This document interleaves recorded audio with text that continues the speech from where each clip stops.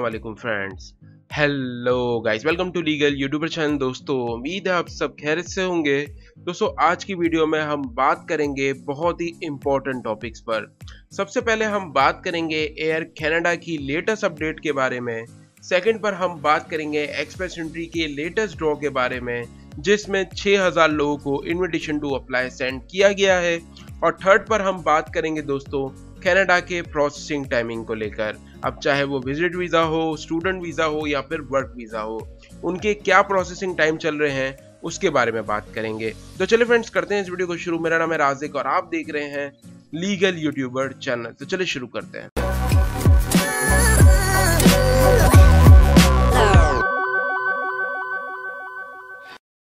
Video को start करने से पहले दोस्तों बता दूँ कि जिन लोगों ने अभी तक चैनल को सब्सक्राइब नहीं किया तो या प्लीज़ नीचे रेड बटन होगा, इसको दबा दो, बेल को दबाना बिल्कुल मत भूलना, ताकि आपको मेरा हर नोटिफिकेशन सबसे पहले देखने को मिले। दोस्तों, बात करते हैं सबसे पहली अपडेट की, जो कि एयर कैनेडा की तरफ़ से है। दोस्तों, जैसे कि आप सब जानते हो कि कनाडा ट्रैवल रिस्ट्रिक्शंस ओपन करने की तैयारी कर रहा है, जिसकी वजह से वो होटल क्वारंटीन प्लान भी खत्म कर चुका है। और आने वाले दिनों में आपको कनाडा की तरफ़ से ट्रैवल रिस्ट्रिक्शंस ओपन होती हुई देखी जा सकती है। लेकिन एयर कनाडा ने पहले ही बुकिंग स्टार्ट कर दी है 23 जून के लिए। जब भी लोग उनसे ट्विटर अकाउंट के ऊपर पूछते थे तो वो सबको एक ही रिप्लाई करते थे कि 23 जून से जो है, वो ट्रैवल बैन खत्म हो सकता है। लेकिन अब उन्होंने इंडिया के लिए फ्लाइट्स को बैन कर दिया है। मजीद थर्टी डेज़ के लिए। अब इंडियंस जो हैं वो जून में नहीं जा सकते, उनको मजीद थर्टी डेज़ तक का वेट करना होगा मतलब कि जुलाई तक की लास्ट तक का वेट करना होगा। साथ ही दोस्तों एयर कनाडा का कहना है कि इंडिया के अंदर कोविड 19 का जो नया वेरिएंट है, वो बहुत तेज़ी से स्प्रेड हो रहा है, जिसको देखते हुए इंडिया को मजीद थर्टी डेज़ के लिए बैन किया जा रहा है। अब जब कोविड 19 स्प्रेड होना कम हो जाएगा, तभी ही इंडिया के लिए बैन हटाया जाएगा। साथ ही दोस्तों एयर कनाडा ने जब इंडिया के लिए फ्लाइट्स को बैन कर दिया है तो इसका मतलब पूरा इशारा यही जाता है कि अब कनाडा गवर्नमेंट भी बिल्कुल इंडिया को बैन करेगी जुलाई तक के लिए। अब जितने भी हमारे इंडियंस हैं, उनको जो है वो थर्टी डेज़ का जो है वो वेट करना होगा। अब हम बात करते हैं दोस्तों, इसकी सेकेंड अपडेट की, जो कि है एयर कनाडा की तरफ़ से ही, और ये अपडेट रिफंड पॉलिसी को लेकर है।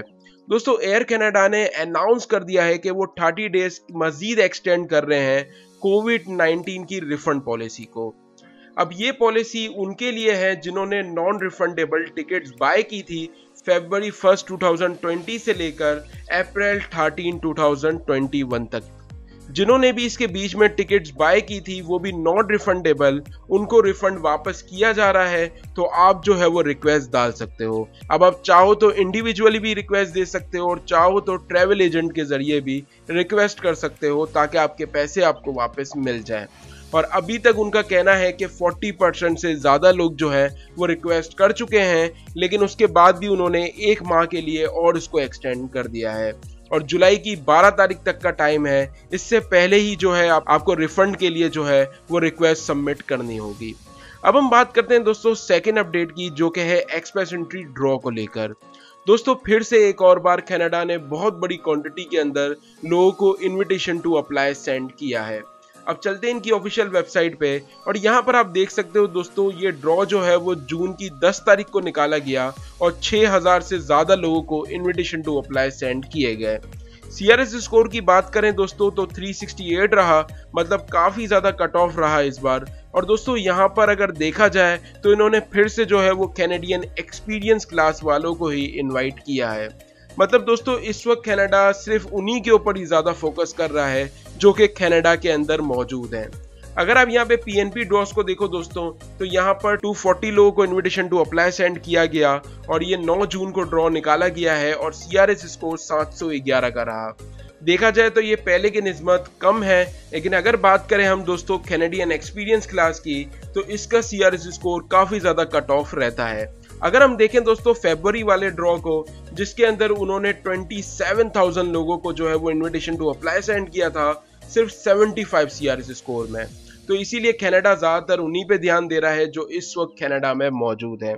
अब हम बात करते हैं दोस्तों थर्ड अपडेट की, जो कि है प्रोसेसिंग टाइम को लेकर। दोस्तों, इस हफ़्ते कनाडा ने क्या प्रोसेसिंग टाइम में चेंजेस की है, उसके बारे में बात करेंगे। सबसे पहले हम बात करते हैं स्टूडेंट्स की तो स्टूडेंट्स का अभी भी एट वीक्स ही है, और मुझे पता है कि काफ़ी ज़्यादा लोग ये एट वीक्स दोबारा सुनने के बाद यही कहेंगे कि, सर रिज़ल्ट तो आते नहीं है। सिर्फ़ यहाँ पे एट वीक्स ही शो किया जा रहा है। तो दोस्तों, बिल्कुल आएँगे, लेकिन सबसे अच्छी बात यह है कि आप लोगों का टाइम ना इंक्रीज किया जा रहा है, ना डिक्रीज किया जा रहा है। तो आप लोग के रिज़ल्ट बहुत जल्द आप लोगों को देखने को मिल जाएँगे।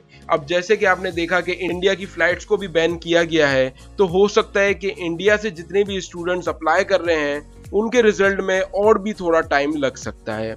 अब हम बात करें दोस्तों वर्क परमिट वालों की तो यहाँ पर उनका जो है वो 13 वीक्स था पहले और अब जो है वो 14 वीक्स हो चुका है।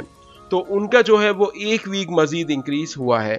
अब हम बात करें दोस्तों विज़िट वीज़ा वालों की तो हर वीक इंक्रीज ही हो रहा है विज़िट वीज़ा का टाइम दोस्तों और टूरिस्ट वीज़ा वालों के लिए प्रोसेसिंग टाइम को लेकर कभी भी अच्छी न्यूज़ देखने को नहीं मिलती। हमेशा से उनका टाइम इंक्रीज ही होता है तो जो लोग भी अभी विज़िट वीज़ा अप्लाई करने का सोच रहे हैं तो बिल्कुल भी अभी अप्लाई करने का ना सोचें, क्योंकि अभी भी विज़िट वीज़ा के जो डेज़ हैं, वो 188 प्रोसेसिंग डेज़ हैं। इसीलिए दोस्तों, बहुत ज़्यादा हैं तो अभी जो लोग भी अप्लाई करना चाहते हैं, वो अभी अप्लाई मत करें।